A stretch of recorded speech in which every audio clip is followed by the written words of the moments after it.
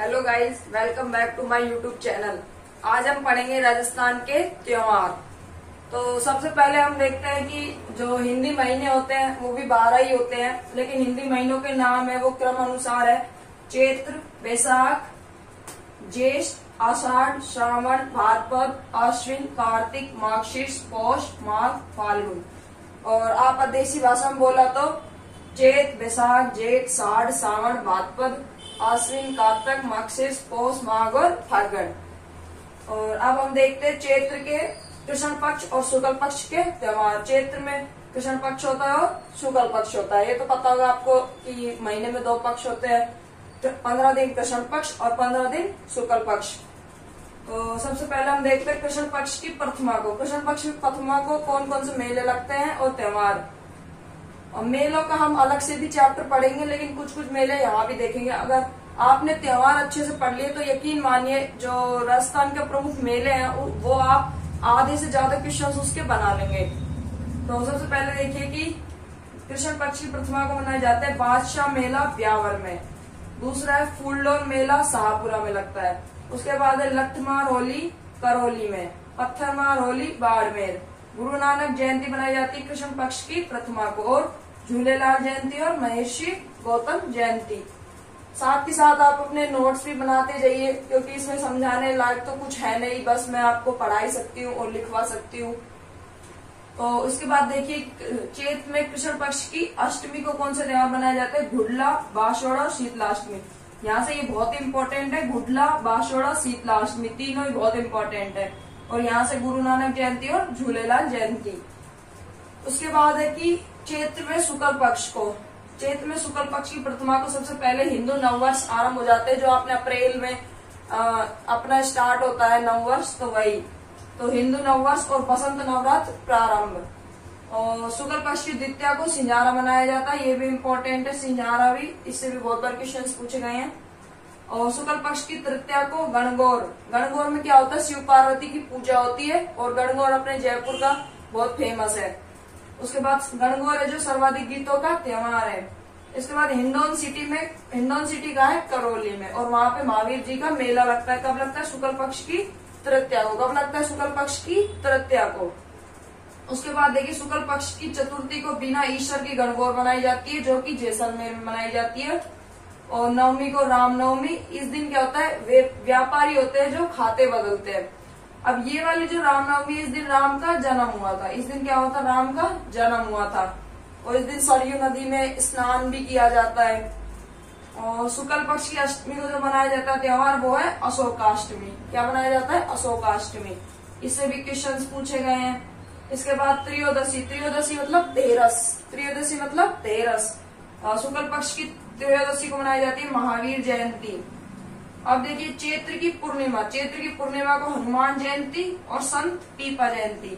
अब देखिए ये संत पीपा जयंती है, इसका हम फिर से पढ़ेंगे, लेकिन कहाँ पढ़ेंगे? जब संत संप्रदाय पढ़ेंगे तो उसमें संत पीपा जी को हम पढ़ेंगे।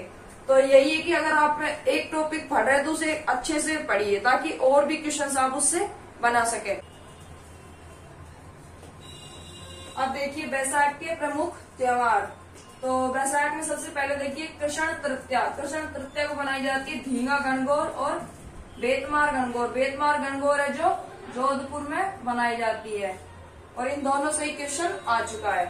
इसके बाद देखिए, सुकल तृतीया। सुकल तृतीया को सबसे फ़ेमस क्वेश्चन है आखा तीज का। आखा तीज और अक्षय तृतीया। तो सुकल तृतीया को बनाई जाती है आखा तीज। परशुराम जयंती अबूत सावा होता है इस दिन। इससे कोई क्वेश्चन नहीं आएगा। और अक्षय तृतीया। ये दो यहाँ से तीन इम्पोर्टेंट है, आखा तीज परशुराम जयंती, अक्षय तृतीया। आप जानते हैं, अक्षय तृतीया होता है उस दिन सबसे ज़्यादा बाल विवाह किए जाते हैं। इसके बाद देखिए, बैसाख की पूर्णिमा। बैसाख की पूर्णिमा, बुद्ध पूर्णिमा गरास्यु का कुंभ। गरास्यु का कुंभ कहाँ होता है? आबू सिरोई इसके बाद है मातृकुंडिया मेला। मातृकुंडिया मेला है, वो चित्तौड़गढ़ में लगता है, और इसे मेवाड़ का हरिद्वार भी कहते हैं। क्या कहते हैं इसे मेवाड़ का? हरिद्वार भी कहते हैं। इसके बाद है पीपल पूर्णिमा। तो इसमें से तो चारों से क्वेश्चन आए हुए मैं जो आपको करा रही हूँ इम्पोर्टेंट ही करा रही हूँ, जिससे क्वेश्चन आए हुए हैं। तो हर एक चीज़ ध्यान से पढ़ना। आप देखिए ज्येष्ठ महीने के त्योहार। तो इसमें सबसे पहले जेठ की अमावस्या। ज्येष्ठ की अमावस्या बनाई जाती है बड़ अमावस्या और सावित्री पूजा। इसके बाद शहरियों का कुंभ भी इसी दिन होता है, जो सीताबाड़ी बारह में लगता है। मेला। उसके बाद देखिए, ज्येष्ठ की शुक्ल दशमी को गंगा दशहरा। कहते हैं कि इस दिन भागीरथ नाम का कोई व्यक्ति था, वो गंगा को पृथ्वी पर लाया था। इसके बाद शुक्ल एकादशी। शुक्ल एकादशी को निर्जला एकादशी मनाई जाती है। आप देखिए, आषाढ़ महीने में। आषाढ़ में कृष्ण एकादशी को योगिनी एकादशी शुक्ल एकादशी। आषाढ़ की कृष्ण एकादशी को तो योगिनी एकादशी और शुक्ल एकादशी को देव सैनी एकादशी, इस दिन क्या होता है? देवता चार माह के लिए सो जाते हैं। चार माह के लिए देवता सो जाते हैं। इसके लिए क्या होता है? देव शनि एकादशी वाले दिन से ऐसा माना जाता है कि देवता है जो चार महीने के लिए सो जाते हैं और फिर जो देवठनी आती है, उस समय वो देवता उठ जाते हैं। तो इस देव शनि एकादशी से देवठनी के मध्य कोई भी हम प्रोग्राम नहीं करते, शादी ब्याह वगैरह कुछ भी तो ऐसा माना जाता है। उसके बाद आषाढ़ पूर्णिमा। आषाढ़ पूर्णिमा को गुरु पूर्णिमा मनाई जाती है। ये देखिए, यहाँ पे ये पीपल पूर्णिमा थी। बैसाख पूर्णिमा की से पीपल पूर्णिमा। और आषाढ़ की पूर्णिमा, उसमें गुरु पूर्णिमा, व्यास पूर्णिमा और कोकिला व्रत पूर्णिमा। अब देखो श्रावण के त्योहार। तो श्रावण के त्योहार में सबसे पहले देखो कृष्ण पंचमी। कृष्ण पंचमी को नाग पंचमी बनाई जाती है। इस दिन नागों की पूजा होती है। नागों को दूध वगैरह पिलाया जाता है। अब देखिए, कृष्ण नवमी, इस दिन निडर नवमी, नेवला पूजन किया जाता है। कृष्ण एकादशी, श्रावण की कृष्ण एकादशी को कामी का व्रत। श्रावण की अमावस्या, श्रावण की अमावस्या को हरियाली अमावस्या, और कल्प का मेला लगता है कहाँ पे? मांगलियावास, अजमेर में। सुकल तृतीया, इस दिन श्रावणी तीज, छोटी तीज, हरियाली तीज, और इस दिन हिंदू त्योहार प्रारंभ होते हैं, इसे करण कहते हैं, जो हमारे श्रावण की छोटी तीज आती है, उससे हिंदू त्योहार जो प्रारंभ हो जाते हैं, कहते हुए कि तीज त्योहार बावड़ी ले डूबी गणगौर, यानी तीज से त्योहार आरंभ होते हैं, गणगौर का त्योहार खत्म हो जाते हैं। अब देखिए, श्रावण की पूर्णिमा को रक्षाबंधन मनाया जाता है और नारियल पूर्णिमा मनाई जाती है। अब देखिए, छह नंबर पे भाद्रपद के त्योहार। सबसे पहले कृष्ण पक्ष के देखेंगे हम, फिर शुक्ल पक्ष के देखेंगे। भाद्रपद में कृष्ण पक्ष की तृतीय को होता है नीम पूजा, बड़ी तीज सातुड़ी तीज बूढ़ी तीज कजली तीज। और कजली तीज का मेला कहा लगता है? बूंदी में लगता है। कृष्ण षष्ठी को हल छठ इस दिन बलराम जी का जन्म हुआ था। बलराम जी कृष्ण के बड़े भाई थे और, और ऊब छठ कहते हैं कि श्री कृष्ण से बलराम जी एक ही दिन बड़े हैं। हल छठ और ऊब छठ का मनाई जाती है कृष्ण पक्ष की षष्ठी को और कृष्ण पक्ष की अष्टमी को मनाई जाती है कृष्ण जन्माष्टमी। और इस दिन सत्तर पीर बाबा का उर्स नरहड़ के पीर चिड़ावा झुंझुनू में। कृष्ण पक्ष की नवमी को गोगा नवमी मनाई जाती है। गोगा जी जो राजस्थान के बहुत ही पूजनीय देवता रहे हैं, ये हम, ये टॉपिक जो है हम राजस्थान के प्रमुख देवता में पढ़ेंगे, लोक देवता।